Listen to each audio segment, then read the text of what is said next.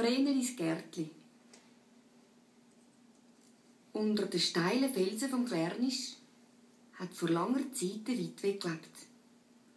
Sie hatte eine grosse, schöne Alp zoberst auf dem Berg. Auf Säberweid hat sie ihres Fee gesömmert. Sie hat nur eine Tochter gehabt. Das Mädchen hat Vreneli geheissen.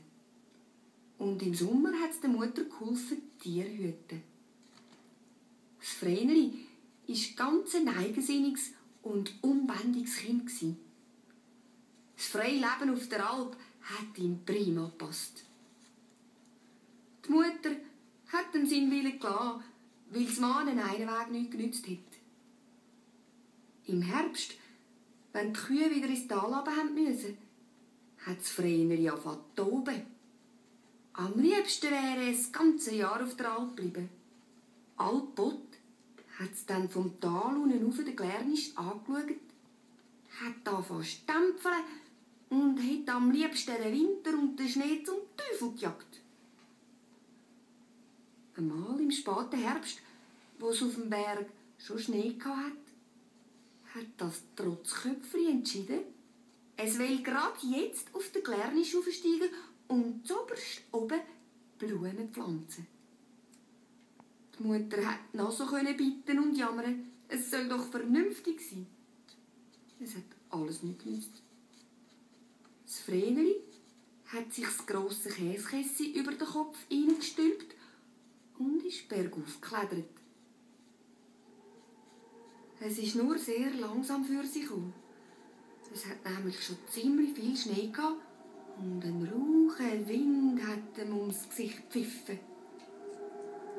Etwa die hat der Sturmwind das Vreneli fast die Tiefe abgeblasen. Ganz erschöpft ist es schlussendlich auf dem Gipfel angekommen. Dort hat es mit bloßen Händen den Schnee weggeschaufelt und wo es ein Stückchen Wiese bloßgelegt hat, hat seine Blumen reingepflanzt. Das Vreneli hat sich allerdings nicht lange freuen an seinem Gärtchen. Gleich hat es wieder angefangen schneien. Grosse Flocken haben die Blumen im Hui zugedeckt. Und der Kessel, das Vreneli auf dem Kopf hatte, ist vom Schnee immer schwerer und schwerer geworden. Verzweifelt hat es probiert, ihn abzuziehen. Aber es ist ihm nicht gelungen. Der Kessel hat es unbarmherzig in Schnee hineingedrückt. Und das Vreneli musste darunter verfrieren. Seit dieser Zeit ist der Glärnisch mit ewigem Schnee und Eis zugedeckt. An seinem östlichen Ende kann man deutlich den viereckigen Bitz erkennen, wo seither Vrenelis Gärtli heisst.